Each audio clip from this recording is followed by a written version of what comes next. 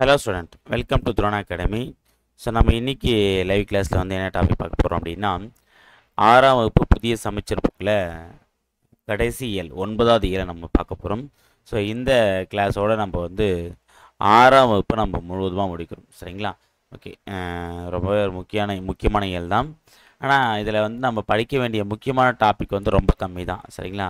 ரெண்டே ரெண்டு முக்கியமான டாபிக் தான். ஸோ அதுலேயுமே வந்து மேலோட்டமாக நம்ம படித்தாலே போதும் ஓகேவா? ஸோ இது வரைக்கும் நம்ம பார்த்த இயல்லையே இது கொஞ்சம் கம்மியான இம்பார்ட்டன்ஸ் கொடுக்க வேண்டிய ஒரு இயல் தான் சரிங்களா? சிலபஸில் கவர் ஆகக்கூடிய டாபிக் கூட பார்த்தீங்கன்னா இல்லை கொஞ்சம் கம்மியாக தான் இருக்குது சரிங்களா? சரி ஓகே நம்ம என்னன்றதை நம்ம பார்க்கலாம். இந்த இயலுடைய தலைப்பு என்னன்னு பார்க்கும்போது இன்னுயிர் காப்போம். இது இன்னுயிர் காப்போம். சில பார்த்தீங்க அப்படின்னா நிறைய உயிர்களுக்கு நம்ம எப்படி நன்மையை செய்யணும் சரியா? மண்ணில் உள்ள உயிர்களை வந்து நம்ம எப்படி காப்பாற்றணும் ஒரு உயிருடைய வேல்யூ என்ன? அப்படின்னு தான் வந்து இந்த தலைப்பில் வந்து கொடுத்துருப்பாங்க. நம்ம பார்க்கலாம். அதில் ஃபஸ்ட்டு வந்து பார்த்திங்கன்னா ஆசிய ஜோதி அப்படின்ற ஒரு டாபிக் கொடுத்துருக்காங்க. சரியா? ஸோ ஆசிய ஜோதின்னு தெரிஞ்சு பார்த்தீங்கன்னா கவிமணி எழுதிய ஒரு நூல். அதான் இங்கே கொடுத்துருக்காங்க. ஃபஸ்ட்டு கவிமணியை பற்றி பார்த்துட்டு வந்துடுவோம் கவிமணி. தேசிக விநாயகனார். இருபதாம் நூற்றாண்டில் வாழ்ந்த கவிஞர். ஓகேவா இப்போ தேசிக விநாயகனார் வந்து பார்த்தீங்கன்னா எந்த நூற்றாண்டு வாழ்ந்த கவிஞர் அப்படின்னா இருபதாம் நூற்றாண்டில் வாழ்ந்த கவிஞர் தான் தேசிக விநாயகனார். முப்பத்தி ஆறு ஆண்டுகள் பள்ளி ஆசிரியராக பணியாற்றினார். எத்தனை வருஷம்? கிட்டத்தட்ட முப்பத்தி ஆறு ஆண்டுகள் வந்து பள்ளி ஆசிரியராக பணியாற்றி இருக்காரு கவிமணி என்னும் பட்டம் பெற்றவர். சரியா? தேசிய விநாயகனார் தான் இவருடைய பேர். கவிமணின்றது பார்த்தா இவர் வாங்கின பட்டம். சரிங்களா? சரி okay, அடுத்தது. ஆசிய ஜோதி ஆங்கில மொழியில் எட்வின் அர்னால்டு என்பவர் எழுதிய லைட் ஆஃப் ஆசியா என்னும் நூலை தழுவி எழுதப்பட்டது. இப்போ ஆசிய ஜோதி நம்ம பார்த்துட்டு இருக்க இந்த நூல் வந்து பார்த்தீங்கன்னா டைரெக்டாக வந்து கவிமணி எழுதுனது கிடையாது. ஆங்கில மொழியில் எட்வின் அர்னால் என்பவர் எழுதின லைட் ஆஃப் ஆசியா அப்படின்ற ஒரு நூலை தழுவி எழுதப்பட்டது தான் இந்த ஆசிய ஜோதி. இந்நூல் புத்தரின் வரலாற்றை கூறுகிறது. ஓகேவா இந்த ஆசி ஜோதி வந்து பற்றி யாரை பற்றி சொல்லுது புத்தருடைய புத்தருடைய வரலாற்றை பற்றி சொல்லக்கூடிய நூல் தான் அது.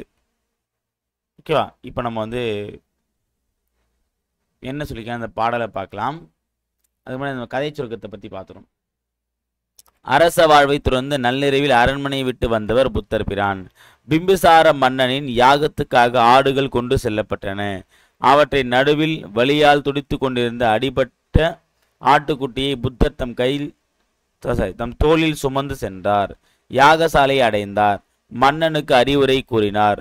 நாடெங்கும் உயிர்கொலைக்கு உயிர்கொலையை தடுத்து நிறுத்தினார். ஸோ என்ன அப்படின்னா நம்ம நல்லாவே தெரியும். புத்தர் வந்து ஒரு அரச குடும்பத்தை பிறந்தவர் தான்.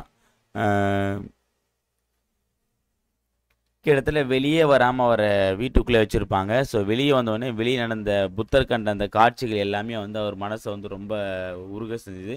ஸோ எல்லாரும் இப்படி வாழும்போது நம்ம மட்டும் இப்படி ஆடம்பர வாழ்க்கையை பகட்டு வாழ்க்கையை வாழறோமேன்னு சொல்லிட்டு அந்த வாழ்க்கையை துறந்து எளிய வாழ்க்கையை வாழ நோக்கி அரச பதவி வந்து துறந்தார். துறந்துட்டு வந்தார்.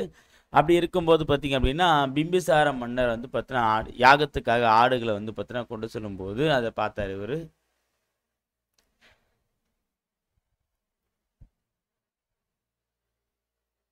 அதுலேயும் குறிப்பாக ஒரு ஆட்டுக்குட்டியை வந்து அடிபட்டுருந்துச்சு. அந்த ஆட்டுக்குட்டியை எடுத்து வச்சுக்கிட்டு இந்த மாதிரி வந்து பார்த்தீங்கன்னா அந்த மன்னன் யாகசாலை நடத்தக்கூடிய இடத்துக்கு போயிட்டு யாகம் நடத்தக்கூடிய இடத்துக்கு போயிட்டு அங்கே போய் மன்னனுக்கு வந்து அறிவுரையை வழங்கினார். உயிர்கொலை வந்து நாடெங்கும் வந்து தடை வைத்தார் சரியா?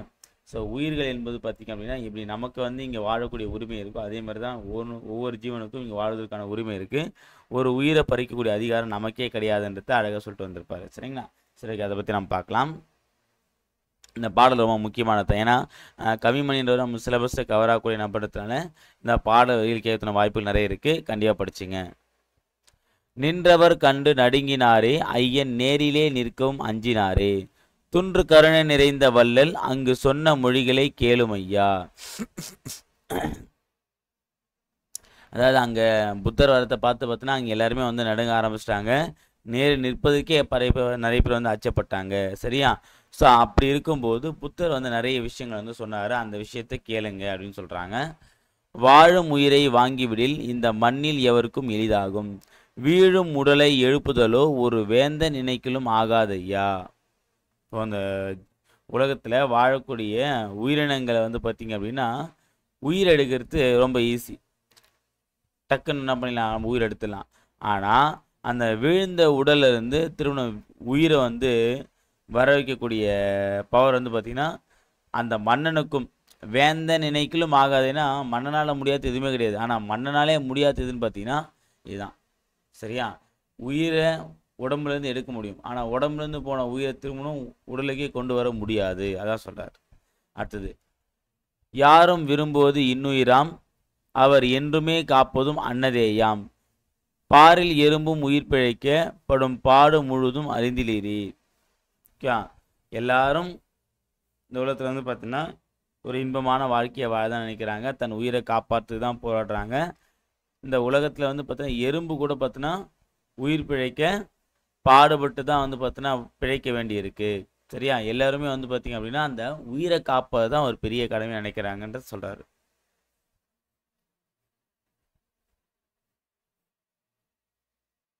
அடுத்த பாடல் வரியில் நேரிய உள்ளம் இறங்கிடுமேல் இந்த நீள் நிலம் முற்றுமே அண்டிடலாம் பாரினில் மாறி பொழிந்திடவே வயல் பக்குவமாவது அறிந்திலீரோ. ஓகேவா அடுத்து மொத்தம் பாடலை படிச்சிடறேன். காட்டும் கருணை உடையவரே என்றும் கண்ணிய வாழ்வை உடையவராம். வாட்டும் உலகில் வருந்திடுவார் இந்த மர்ம அறியாத மூடரையா. எனது காட்டும் கருணை உடையவரே என்றும் கண்ணிய வாழ்வு உடையவராம். வாட்டும் உலகில் வருந்திடுவார் இந்த மர்மம் அறி அறியாத மூட மூடரையா? அடுத்தது.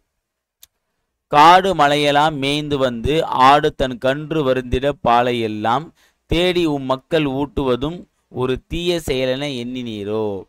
அடுத்தது. அப் சரி. அம்புவி மீதில் இவ்வாடுகள் உம்மை அண்டி பிழைக்கும் உயிரளவோ? நம்பி இருப்பவர் கும்மி எடுத்திடில் எரிந்திடில் நன்மை உமக்கு வருமோ ஐயா? ஆயிரம் பாவங்கள் செய்வதெல்லாம் ஏழை ஆட்டின் தலையோடு அகன்றிடுமோ? தீயவும் நல்லவும் செய்தவரை விட்டு செல்வம் ஒரு நாளும் இல்லையே இல்லா? ஐயா அடுத்து பாரு கடைசியான பாடல் ஆதலால் தீவினை செய்ய வேண்டா ஏழை ஆட்டின் உயிரை வாங்க வேண்டா. பூதலன் தன்னை நக நரகம் அது ஆக்கிடும் புத்தியை விட்டு பிழையும் ஐயா.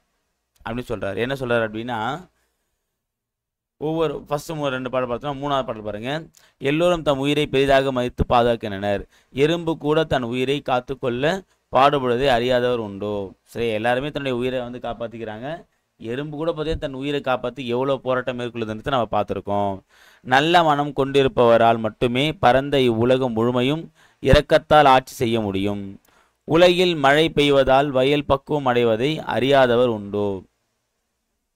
ஓகே நல்ல மனம் இருந்தால் மட்டும்தான் பார்த்தீங்கன்னா இந்த பரந்த உலகம் முழுமைக்கும் வந்து பார்த்தீங்கன்னா நம்மளால இறக்கத்தால் ஆட்சி செய்ய முடியும். அந்த பரந்த மனம் இருந்தால் தான் நமக்கு இரக்கம் இருக்கும். அந்த இறக்கம் இருந்தால் இது பெரிய பரந்த மனம் தான் சொல்கிறாரு ஓகேவா அடுத்தது எல்லா உயிர்கள் மீதும் இரக்கம் கொள்பவரே நேர்மையான வாழ்வாழ்பவர். இந்த மறைபொருள் அறியாதவர் பிற உயிர்களை வருந்தி தாமும் துன்புறுவர். ஓகேவா? அதாவதுன்னா எல்லா உயிர்கள் மீதும் இறக்கம் கொள்ளணும். எல்லா உயிர்கள் அப்படின்னா ஆடு மாடு கோழி ஜீவராசி ஓரிரு உயிர்லேருந்து ஆறு உயிர் வரைக்கும் வந்து பார்த்தீங்கன்னா இறக்கம் கொள்ள வேண்டும். சரியா? அதான் வந்து பார்த்தீங்க அப்படின்னா சரியான நேர்மையுடையவன்னு சொல்கிறாங்க அப்படி செய்யாதவங்க வந்து பார்த்தீங்கன்னா மற்றவங்களையும் கஷ்டப்பட்டு தானும் கஷ்டப்படுவாங்க. அதான் சொல்கிறாங்க அடுத்தது. காடு மலை எல்லாம் மேய்ந்து வருகிறது ஆடு.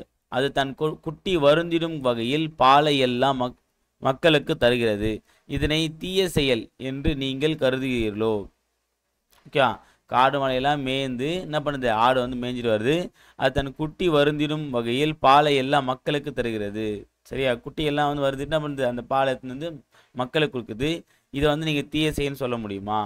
ஏன்னா ஒரு ஆடு வந்து பார்த்தா தனக்கான பாலை வந்து மக்களுக்கு கொடுத்து உதவும் போது அது வந்து ஒரு நல்ல செயல் தானே? மற்ற உயிர்களுக்கும் நன்மை தானே செய்யுதுன்னு சொல்கிறாங்க ஓகேவா? தன் குட்டியை வருந்தியும் மற்றவங்க செய்யுது. அடுத்தது இந்த உலகில் ஆடுகளும் உங்களை நம்பி இருக்கும் உயிர்கள் அன்றோ? நம்மை நம்பி இருப்பவரின் வயிறு எரியும் வகையில் நடந்து கொள்வதால் உங்களுக்கு நன்மை கிடைக்குமான்னு கேட்குறாங்க ஓகேவா இந்த உலகத்தில் எல்லா ஜீவராசியுமே வந்து பார்த்தீங்கன்னா மனிதனை நம்பி இருக்கான்னு கேட்டிங்கன்னா இவர் சொல்லக்கூடிய நம்பி இருக்கிறதுன்னு பார்த்தீங்கன்னா நம்ம தான் இந்த உயிரினங்கள் நம்பி இருக்குமே தவிர உயிரினம் எதுவுமே நம்ம நம்பி இல்லை. அதாவது எது என்ன நம்பி இருக்குன்னா இவன் நம்மளை எதுவும் பண்ண மாட்டான்ற நம்பிக்கை இருக்கு அவ்வளோதான் சரியா? ஆனால் நம்ம அப்படி விட்றோமா? அப்படி விடுறதில்ல ஓகேவா ஸோ அப்போ அப்படின்னும் போது அந்த நம்பிக்கைக்கு நம்ம வந்து பாதகமாக செயல்படும் போது அது வந்து பார்த்தீங்கன்னா நமக்கு நன்மை கிடைக்குமான்னு கேட்டால் கண்டிப்பாக கிடைக்காதுன்னு தான் சொல்கிறாங்க அதில் அடுத்தது. ஆயிரம் பாவங்கள் செய்து ஆட்டின் உயிரை எடுப்பதால் பாவங்கள் அகன்று போகுமோ? ஒருவர் செய்த நன்மையும் தீமையும் ஒரு நாளும் அவரை விட்டு செல்லாது.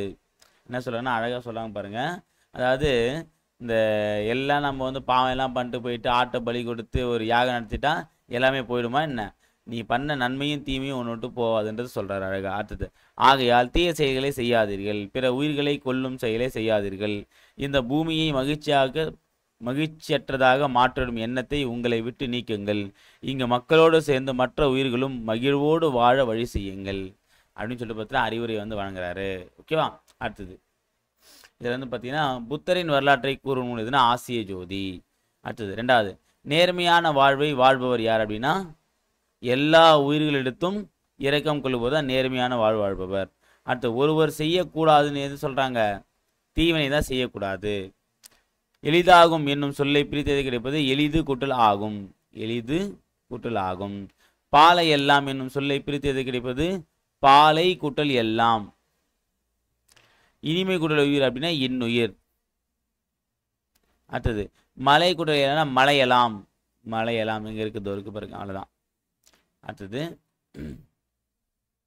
ரெண்டாவது ஒரு முக்கியமான வந்து ஒரு உரைநடை பகுதி தான் இதில் வந்து பார்த்தீங்க அப்படின்னா வள்ளலாரை பற்றி அன்னை தெரசாவை பற்றி அதுக்கப்புறம் வந்து பார்த்தீங்க அப்படின்னா கைலாஷ் சத்யாத்ரி. ஓகேங்களா ஸோ இவங்களை பற்றி கொடுத்துருப்பாங்க. இதில் வந்து வள்ளலாரை பற்றின தகவல் நம்ம முக்கியமானது. ஏன்னா நம்ம சிலபஸில் வந்து படிக்கிற வாய்ப்புகள் இருக்குது மற்றபடி அன்னை தெரசாவும் கைலாஷ் சத்யாத்ரியும் வந்து ஒரு கிளான்ஸ் மட்டும் பார்த்துங்க போதும். ஆனால் மனிதநேயன்ற டாப்பிக்கில் என்ன கொடுத்துருப்பாங்கன்னா அவங்க செய்த செயல்பாடு கொடுத்துருப்பாங்க அவ்வளோதான் ஓகேவா இதில் வந்து முக்கியமாக வந்து ஒரு நாலு மேற்கோள் இருக்கும். கைலாஷ் சத்தியார்த்தியை பற்றி ஒரு சில டேட்டாக்கள் இருக்கும் அவ்வளோதான் அதை தாண்டி வேறு எதுவுமே இருக்காது. அதை மட்டும் நீங்கள் பார்த்தாலே போதுமானது. ஃபஸ்ட்டு பாருங்கள் ஒரு மேற்கோள் இருக்குது தமக்கென முயலா நோன்றால் பிறர்க்கென முயலுனர் உண்மையானே. இவர் இடம்பெறக்கூடியது பார்த்தீங்கன்னா புறநானூறு. தமக்கென முயலா நோன்றான் பிறர்க்கென முயலுனர் உண்மையானே. சரியா? தமக்காக எதுவுமே செய்யவே செஞ்சுக்க மாட்டாங்க. மற்றவங்களுடைய நன்மைக்காக செயல்படுவது தான் தமிழர்கள் அப்படின்ற மாதிரி புறநாற்ற சொல்லக்கூடிய வரியை சொல்கிறாங்க ஃபஸ்ட்டு அப்போ ஃபஸ்ட்டு நம்ம வள்ளலாரை பார்க்கலாம். வள்ளலாரை பற்றி கொடுத்துருக்காங்க. வள்ளலார் வாழ்வில் நடந்ததாக ஒரு நிகழ்வை பலரும் கூறுவதுண்டு. சரியா? ஏன்னா வள்ளலார் வாழ்க்கையில் நிறைய அற்புதம் நிகழ்ந்திருக்கு. அதில் ஒன்று எதை சொல்கிறாங்க அப்படின்னு பார்த்தீங்க அப்படின்னா முதல்ல எப்பயும் வந்து பார்த்தா அந்த காலத்தில் வந்து நடந்து தான் போகணும் எந்த ஊர் போனால் நடந்தான் போகணும் ஸோ அப்போ நீண்ட தூரம் வந்து பயன் பயன் பயணம் முடிந்ததுனால என்ன பண்ணேன்னா ஒரு வழியில் ஒரு சத்திரம் இருக்கும்போது அந்த சத்தத்தை படுத்துக்கலாம். கொஞ்சம் ரெஸ்ட் எடுத்து போகலாம்னு சொல்லி என்ன பண்ணுறாரு அப்படின்னா படுத்துட்டுருக்காரு. அந்த சத்திரத்தோட திண்ணையில் வந்து படுத்துட்ருக்காரு அப்போ என்ன பண்ணுறாரு அப்படின்னா அங்கேருந்து ஒரு திருட வரான். அந்த திருட என்ன பண்ணுறா அப்படின்னா அவருடைய தங்க கடுக்கனை வந்து பார்த்தீங்கன்னா எடுக்க பார்க்குறான். காதலேருந்து ஒரு காதலேருந்து எடுத்துகிற உடனே வந்து பார்த்தீங்கன்னா அவர் என்ன பண்ணுறாரு அப்படின்னா திரும்பி படுக்கிறாரு.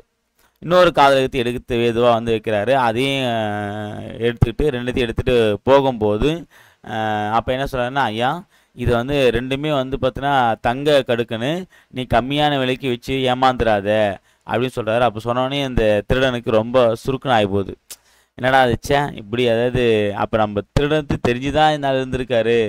ஓகேவா? அப்போது நம்ம பண்ணது தப்புன்னு தெரிஞ்சும் பண்ணியிருக்காரு சரி என்னென்னா அப்போது நம்ம அவர் ஏமாத்தணும் ஆனால் அவர் நம்ம ஏமாறக்கூடாதுன்னு தான் சொன்னார் பத்தியா? ஸோ அப்போ என்னென்னா நம்மளுடைய நம்ம மீது இறக்கம் காட்டினார் பத்தியா? அப்படின்னு சொல்லிட்டு பார்த்தோன்னா அப்போவே அந்த திருடன் வந்து திருந்திட்டதா இந்த ப கதையில் வந்து சொல்லுவாங்க.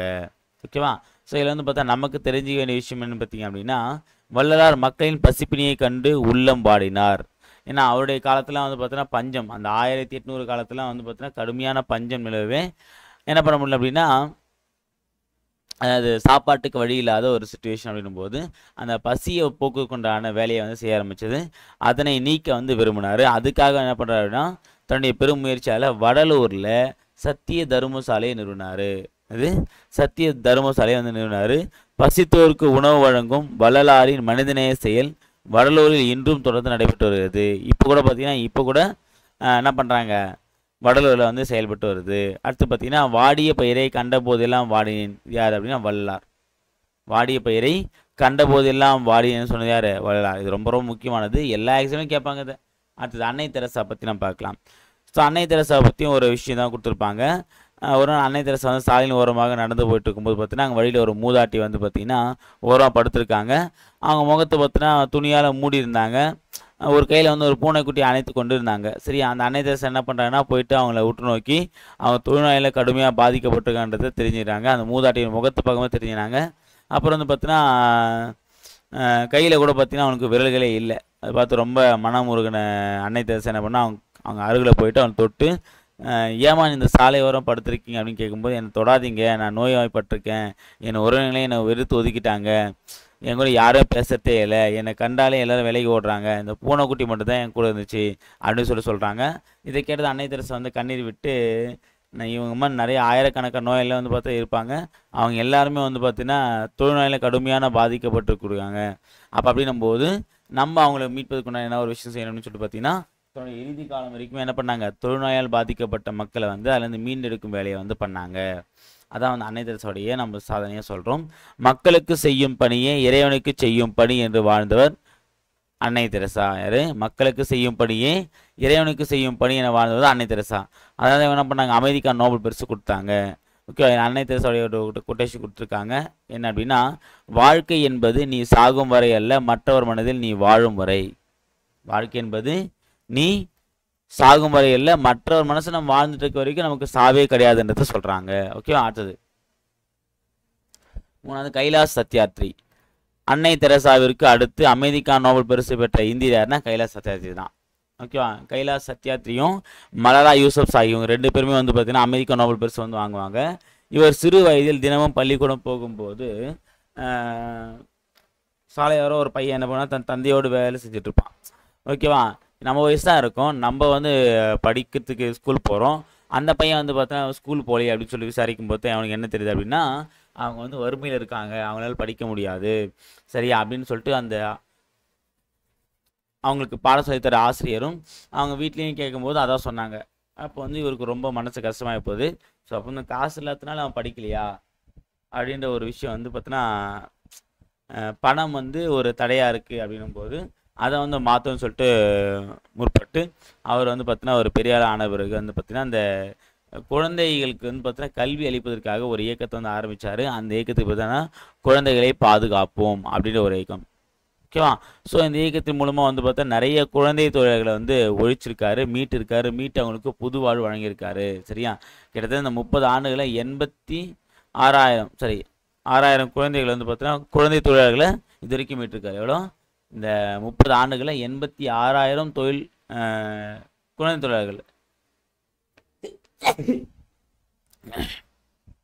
எவ்வளோ பெரிய விஷயம் பாருங்கள் ஓகேவா அடுத்து பார்த்தீங்க அப்படின்னா உலக குழந்தைகள் கல்வி உரிமைக்காக நூற்றி மூணு நாடுகளில் எண்பதாயிரம் கிலோமீட்டர் தூரம் நடைபயணம் சென்றுள்ளார். குழந்தைகளின் கல்வி மற்றும் உரிமைக்காக நாடு கடந்து பரப்புரையாட்டுவது யார்? இந்த கைலாச சத்யாத்ரி ஓகேங்களா அந்த ஃபோட்டோவில் இருக்க பற்றி இவர் தான் இவர் ஒரு கொட்டேஷன் கொடுத்துருக்காங்க. குழந்தைகளை தொழிலாளர்களாக மாற்றுவது மனிதத்தன்மைக்கு எதிரான குற்றம். உலகத்தை குழந்தைகளின் கண் கொண்டு பாருங்கள். உலகம் அழகானது. அப்படின்னு சொன்னது யார் அப்படின்னா கைலாஸ் சத்யாத்ரி. ஓகேங்களா? அவ்வளோதான் ஸோ இதோட வந்து பார்த்தீங்கன்னா இந்த ஒரு மனிதநேயன்ற டாபிக் வந்து முடியுது. அடுத்து பார்த்தீங்கன்னா இதில் வந்து புக் பேக் பார்க்கும்போது எல்லா உயிர்களிடத்தும் அன்பு செலுத்துதல். அதுதான் வந்து என்னது? மனிதநேயம். தன் தம் பொருளை கவர்ந்தவரிடமும் டேஷ் காட்டியவர் வள்ளலார். என்ன? அதாவது அன்பு காட்டியவர் தான் வள்ளலார். அன்னை தெரசாவிற்கு அமைதிக்கா நோபல் பரிசு தான் கொடுத்துருப்பாங்க.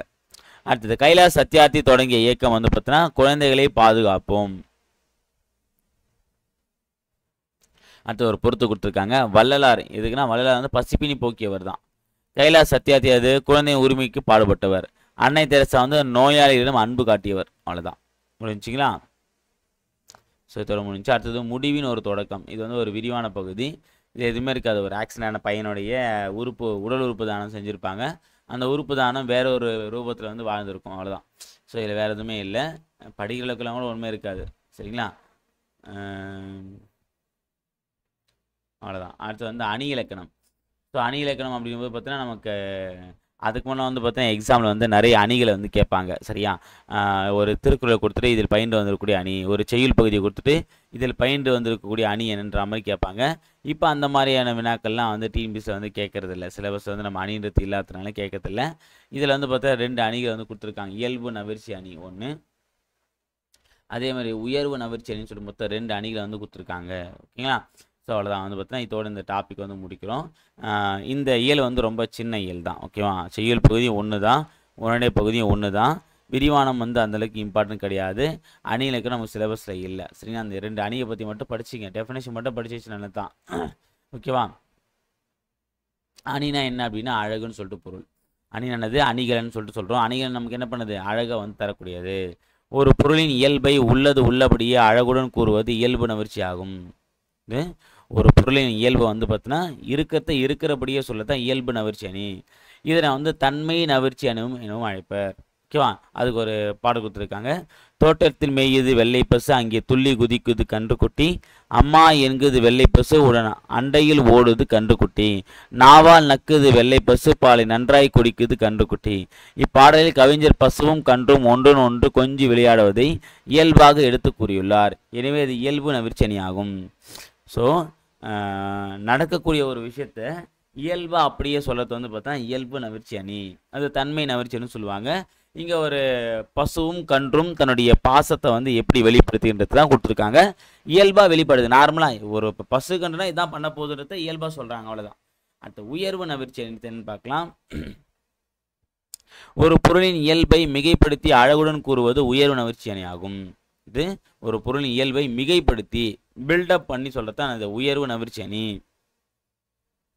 அதை அது பாருங்க குளிர் நீரில் குளித்தல் குளித்தால் கூதல் அடிக்கும் என்று வெந்நீரில் குளித்தால் மேலே கருக்கும் என்று ஆகாச கங்கை அனல் உரைக்கும் என்று பாதாள கங்கையை பாடி அழைத்தார் உன் தாத்தா.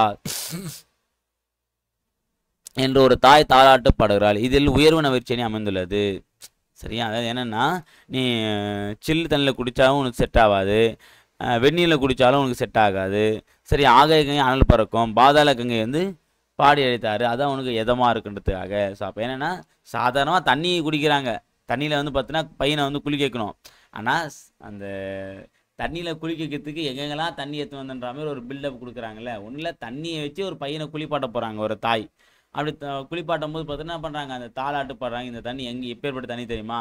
இந்த தண்ணி அவங்க தாத்தா எங்கேருந்து கொண்டு வந்தார் தெரியுமா? அப்படின்ற மாதிரி பில்டப் பண்ணுறாங்க சரி அதான் வந்து உயர்வு நவிர்ச்சி அணி. ஓகேங்களா அவ்வளோதான் அதோட இந்த டாபிக் வந்து முடிக்கிறோம். அடுத்தது பார்த்தீங்கன்னா இதில் இந்த கலைச்சொல் மட்டும் படித்தா போதுமானது. மனித நேயம் அப்படின்னா ஹியூமனிட்டி நம்ம சொல்லுவோம். கருணை அப்படின்னா மெர்சி இது கருணைனா மெர்சி அடுத்து வந்து பார்த்தீங்கன்னா உறுப்பு மாற்று அறுவை சிகிச்சைனா டிரான்ஸ்பிளான்டேஷன் ஓகேவா உறுப்பு மாற்று அறுவை சிகிச்சைனது டிரான்ஸ்பிளான்டேஷன் நோபல் பரிசு அப்படின்னா நோபல் பிரைஸ் சரக்கு சரக்குந்து அப்படின்னா லாரி. நான் வச்சுக்கோங்க. சரக்குந்துனா இது முக்கியமானது. சரக்குந்துனானது லாரி. ஓகேங்களா ஸோ இதோட வந்து பார்த்தீங்கன்னா இயல் ஒன்பது. அதாவது ஒட்டுமொத்தமாகவே நம்ம வந்து ஆறாம் வகுப்பு புதிய சமைச்சர் புக்கோடைய கிளாஸ் வந்து நம்ம இதோட முடிக்கிறோம். ஸோ என்ன பண்ணுறீங்க அப்படின்னா இப்போ இயல் வயசாக நம்ம ஒவ்வொரு இயலாக பார்த்துட்டோம். ஸோ என்ன பண்ணுறீங்கன்னா இந்த இயல் வயசாக நம்ம பார்த்து மட்டும் இல்லாமல் மொத்தம் ஒட்டு மொத்தமாக சேர்த்து ஒரு கிளான்ஸ் நீங்கள் பார்த்துட்டு அதை வந்து பார்த்தா நோட்ஸ் எடுத்து வச்சுக்கிறது ரொம்ப ரொம்ப நல்ல விஷயம். ஓகேவா? ஏன்னா நம்ம பார்க்கத்தோட மட்டும் த விட்டுறாமல் அந்த பார்க்கும்போதே நமக்கு பரிச்சயம் இல்லாத ஒரு சில தலைப்புகள் நம்ம வந்து கேள்வியே படாத ஒரு சில டாப்பிக்லாம் வந்து பார்த்தீங்கன்னா நம்ம வந்து நோட்ஸ் எடுத்து வச்சு படித்தோம் அப்படின்னா எக்ஸாம் டைம் நமக்கு ரொம்பவே வந்து யூஸ்ஃபுல்லாக இருக்கும். சரிங்களா? ஸோ இப்போ இயல் ஒன்பது வந்து தெளிவாக படிச்சுட்டு என்ன பண்ணி திருப்பணும்? இயல் ஒன்றுலேருந்து ஒன்பது வரைக்கும் ஒரு கிளாஸ் இருந்து ரிவிஷன் விட்டீங்க அப்படின்னா ஓகே நீங்கள் வந்து பார்த்தீங்கன்னா ஆறாம் வகுப்பு நீங்கள் ஃபுல்லாக கம்ப்ளீட் பண்ணிடலாம். சரிங்களா? சரி ஓகே ஃப்ரெண்ட்ஸ் இந்த ஒரு லைவ் கிளாஸ் வந்து பார்த்தீங்கன்னா நம்ம ஆறாம் வகுப்பு புதிய சமைச்சல் புத்தகத்தை வந்து முடிச்சிருக்கோம். அடுத்த வீடியோ பதில் அடுத்த லைவ் கிளாஸ் வந்து வேறொரு முக்கிய தகவல் நான் சந்திக்கிறேன். அதுவரை உங்களிடமிருந்து விடைபெறுது Arun Sundaran academy. Thank you